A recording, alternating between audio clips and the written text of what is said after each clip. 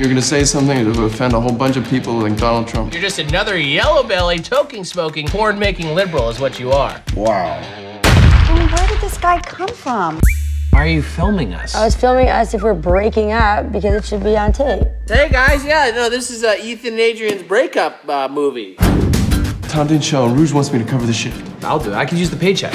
And I don't give a rat's ass if you're a communist or not. You are a conservative. Got it? You look like one of them. I know.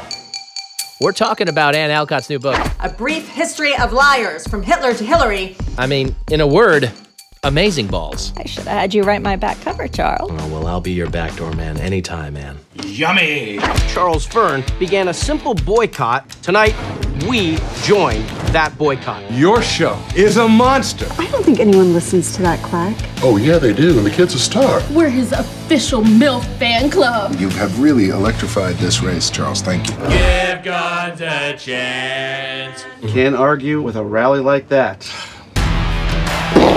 Did you bag her in Africa? Hmm? Oh, no. Vegas. During one of the shows? Oh, please. After. Now I'm here to get this straight, Poop. What? Charles Fern, that's what.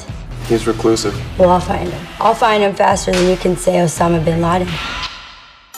Adrian's on to me, all right? She's got photo composites. Charles Fern. Or should I say Ethan Smith? Isn't there a terrorist you should be mating with? Isn't there an abortion clinic you should bomb? Oh,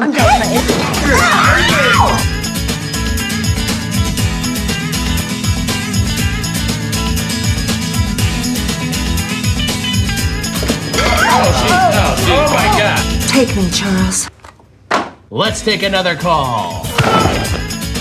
Ow! There's something I need to tell you. I'm married to a man.